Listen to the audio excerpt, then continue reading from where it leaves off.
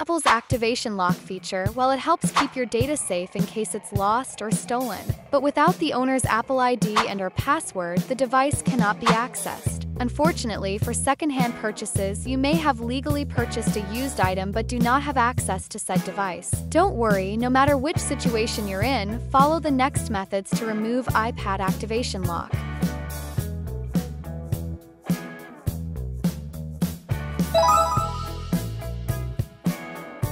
iPad, you can unlock activation lock through the web even if the device is not offline. However, this tip is only applicable if you still remember your Apple ID. If you buy a second-hand iPad, this method will not apply to you. Step 1. The original user should proceed to iCloud and sign in using a valid Apple ID and password. Step 2. Click on the option to find iPhone. Step 3. Select all devices and a screen should appear similar to this. Step 4. Select the iPad that you need to unlock. Step 5. Click on the option to erase the iPad, then proceed to remove the device from the account. Step 6. Completing this process will remove the device from the previous user's account, subsequently removing the activation lock from your iPad. Visit Genius Bar website. Select the help you need. Search for Activation and Activation Lock and select your device. If you remember your Apple ID, you can follow the steps below to activate your device.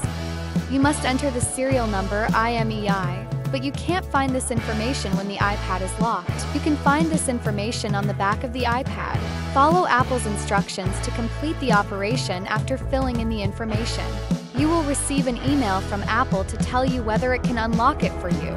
This may not be an easy process, but only you have the required documents for the people who got proof of the purchase from the previous owner, the team will be able to remove the activation lock from your device. This is totally up to Apple to decide whether they are satisfied with your presented documents and if they would like to unlock the iPad.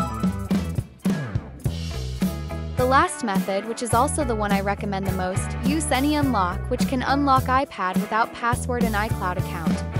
Download AnyUnlock on your PC or Mac. Select Bypass iCloud Activation Lock and click Start. Click to start jailbreaking. Connect your iPad to your computer via USB. Follow the instructions to set your iPad to DFU mode, and the jailbreaking process will start automatically. Then click Bypass Now and wait for the jailbreaking process to complete. When the interface shows that the jailbreak is successful, your iPad will automatically restart.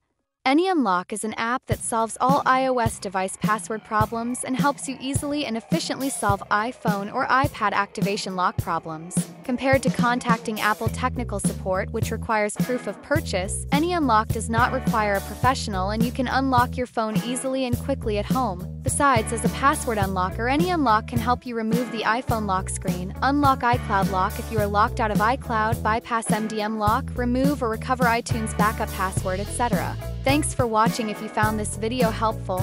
Please give it a thumbs up and share it with your friends. Don't forget to subscribe to our channel for more tech tips and tutorials. See you next time.